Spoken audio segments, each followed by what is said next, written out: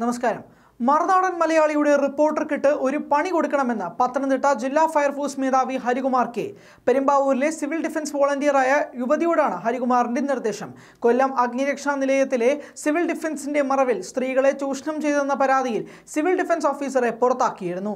ഇക്കാര്യം മറുനാടൻ മലയാളിയാണ് റിപ്പോർട്ട് ചെയ്തത്. മറുനാടൻ വാർത്ത ശ്രദ്ധയിൽപ്പെട്ടതിന്റെ അടിസ്ഥാനത്തിൽ അന്ന് വകുപ്പ് മേധാവി ആർ. ശ്രീലേഖ തന്നെ നേരിട്ട് ഇടപെട്ട് വീഴ്ച വരുത്തിയവർക്കെതിരെ കർശന നടപടിയും എടുത്തിരുന്നു. ഈ കേസിലെ പ്രധാനിയാണ് ഹരികുമാർ. ഈ വാർത്തയുടെ പേരിലാണ് ഹരികുമാറിന്റെ പുതിയ പ്രതികാര നീക്കങ്ങൾ. കോവിഡ് മാനദണ്ഡം ലംഘിച്ചതിന്റെ പേരിൽ ഡി എഫ് ഒ അടക്കം മൂന്ന് ഉന്നത ഉദ്യോഗസ്ഥരെ സ്ഥലം മാറ്റുകയും ചെയ്തിരുന്നു. ജില്ലാ സിവിൽ ഡിഫൻസ് ഓഫീസർ നിഷാന്തിനെ പുറത്താക്കി.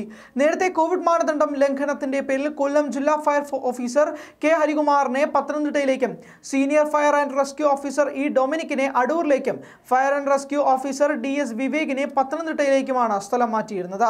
മറുനാടനെതിരെ വലിയ ഗൂഢാലോചനയാണ് ഹരികുമാർ നടത്തിയത്.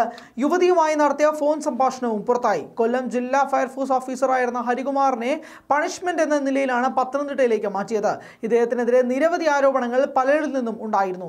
സർക്കാരിന്റെയോ ഫയർ ആൻഡ് റെസ്ക്യൂ മേധാവിയുടെയോ അനുവാദമില്ലാതെ സിവിൽ ഡിഫൻസ് അംഗങ്ങൾക്ക് സർക്കാർ മുദ്രയുള്ള ഐഡന്റിറ്റി കാർഡ് നൽകിയതും വിവാദമായി. ഈ കാർഡുകൾ പിന്നീട് തിരിച്ചെടുത്തിരുന്നു. മറുനാടനിലെ വാർത്തയ്ക്ക് പിന്നിൽ മനോജ് ഗാലക്സി എന്ന റിപ്പോർട്ടറാണെന്നും പറയുന്നുണ്ട്.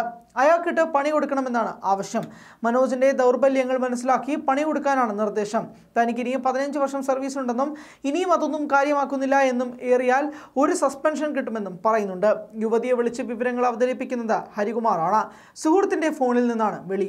തന്നെ സ്ഥലം മാറ്റിയ ഐ പി എസ് ഓഫീസർ ശ്രീലേഖയെക്കുറിച്ചും വളരെ മോശമായി സംസാരിക്കുന്നുണ്ട്. രണ്ടായിരത്തി ഇരുപത് ഇരുപത്തിയൊന്ന് ബാഡ്ജ് ഓഫ് ഹോണർ ഇയാൾക്ക് ലഭിച്ചിരുന്നുവെന്നതാണ് ആശ്ചര്യജനകം. മനോജ് ഗാലക്സി എന്നൊരു റിപ്പോർട്ടർ മറുനാടൻ ഇല്ലെന്നതാണ് വസ്തുത. പത്തനംതിട്ട മീഡിയയാണ് ഈ വാർത്ത പുറത്തുവിട്ടിരുന്നത്.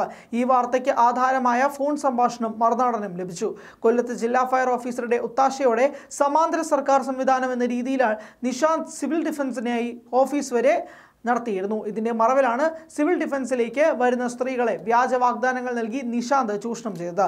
സിവിൽ ഡിഫൻസിലേക്ക് എത്തുന്നവർക്ക് ഫയർഫോഴ്സിൽ സ്ഥിര നിയമനം ഉൾപ്പെടെയുള്ള വ്യാജ വാഗ്ദാനങ്ങളാണ് ഇയാൾ നൽകിയത്. ഈ വാഗ്ദാനങ്ങളിലൂടെയാണ് മാനസികമായി പല ഉദ്യോഗസ്ഥർക്കെതിരെയും ഇയാൾ ചൂഷണം ചെയ്തത്. പീഡനമടക്കമുള്ള പരാതികൾ ഉണ്ടായ സാഹചര്യത്തിലാണ് നടപടികൾ അന്നുണ്ടായത്. പ്രശ്നം ചൂണ്ടിക്കാട്ടി നിഷാന്തിന്റെ മേലുദ്യോഗസ്ഥനായ ജില്ലാ ഫയർ ഓഫീസർക്ക് പരാതി നൽകിയെങ്കിലും യാതൊരു നടപടിയും ഉണ്ടായിരുന്നില്ല. ഇതിനു പുറമെ പല വിധത്തിലുള്ള ഭയം കാരണം പലരും ഇയാൾക്കെതിരെ പരാതി നൽകാൻ തയ്യാറായില്ല. എന്നാൽ മറുനാടൻ വാർത്ത പുറത്തുവിട്ടതോടെ ഇയാൾക്കെതിരെ പരാതിയുമായി സ്ത്രീകൾ രംഗത്തെത്തി. തുടർന്ന് വകുപ്പ് മേധാവി നേരിട്ട് നടത്തിയ അന്വേഷണത്തിൽ പരാതിയിൽ കഴമ്പുണ്ടെന്ന് ബോധ്യപ്പെടുകയും കുറ്റക്കാർക്കെതിരെ നടപടിയെടുക്കുകയുമായിരുന്നു. കൊല്ലത്ത് ജില്ലാതല പരിശീലനത്തിന്റെ സമാപന ദിവസമാണ് കോവിഡ് മാനദണ്ഡം ലംഘിച്ച് അംഗങ്ങൾക്കെതിരായ പരിപാടികൾ സംഘടിപ്പിച്ചത്. ഡാൻസും പാട്ടുമൊക്കെയായി കോവിഡ് മാനദണ്ഡത്തിന്റെ പരിപൂർണ ലംഘനമായിരുന്നു നടന്നത്. തിരുവനന്തപുരം ഫയർ ഓഫീസർ അന്വേഷണം നടത്തി പരാതി ശരിയാണെന്നും കണ്ടെത്തി. ഈ റിപ്പോർട്ടിന്റെ അടിസ്ഥാനത്തിലായിരുന്നു നടപടി. ഇത്തരം വീഴ്ചകൾ നിയന്ത്രിക്കാൻ ചുമതലയുള്ള ജില്ലാ ഓഫീസർ തന്നെ ഗുരുതര വീഴ്ചയ്ക്ക് കൂട്ടുനിന്നതായും അന്വേഷണ റിപ്പോർട്ടിൽ പറയുന്നുണ്ട്.